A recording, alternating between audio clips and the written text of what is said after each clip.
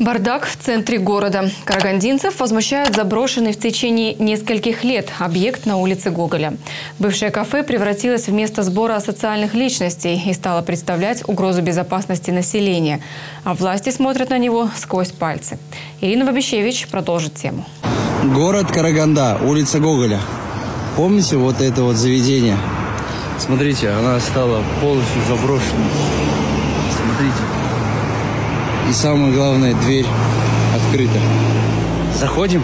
Карагандинский блогер обратил внимание на здание, бывшее кафе «Фируза» на Гоголя. Оно уже давно у многих вызывает недоумение своим внешним обликом. Выбитые окна, расколоченные двери. Все это выглядит по меньшей мере странно на одной из самых оживленных улиц в центре. А то, что творится внутри, и вовсе изумляет.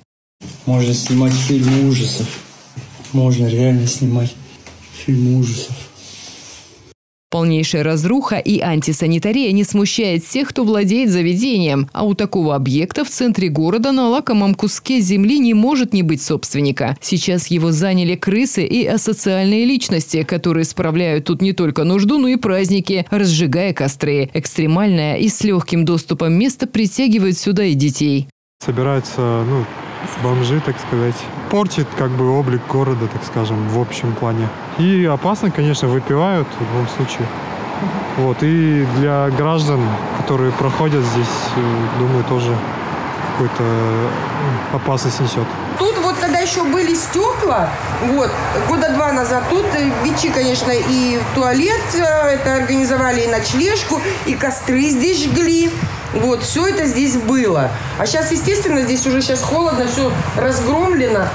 Светлана Чупретова тут справляла свой юбилей, когда кафе называлось еще «Дракон». Живет неподалеку, и диву дается, как власти не пресекают и закрывают глаза на разгул бесхозяйственности. Сейчас мороз и доносящиеся зловония не так очевидны. Потеплеет и мимо этого объекта будет не пройти. Загорится, вот ну, что-нибудь начнут жечь, естественно, поблизости газ, дома, вот это все, и все оно колыхнет или сложится. В отделе архитектуры и градостроительства отреагировали на жалобу после обращения. Действительно, строение по Гоголя 64 дробь 1 принадлежит юридическому лицу. И согласно проекту детальной планировки, тут предусмотрено размещение ресторана, кафе, бистро, пивной, трактира или столовой. Согласно правил содержания и благоустройства территории, это юридическое лицо обязано своевременно производить работу по реставрации, ремонту. Да и что там, элементарно обеспечивать санитарные условия и безопасность, законсервировав объект.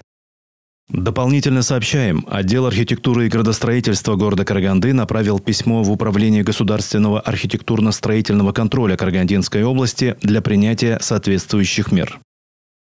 Ирина Вабищевич, Миржан Жумамуратов, Наталья Заяц, Пятый канал.